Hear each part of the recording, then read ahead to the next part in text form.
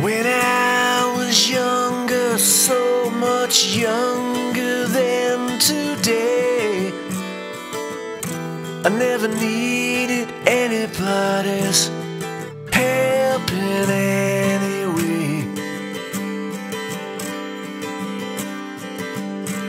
But now these days are gone, and I'm not so self assured. Now I find I've changed my mind. I've opened up the door.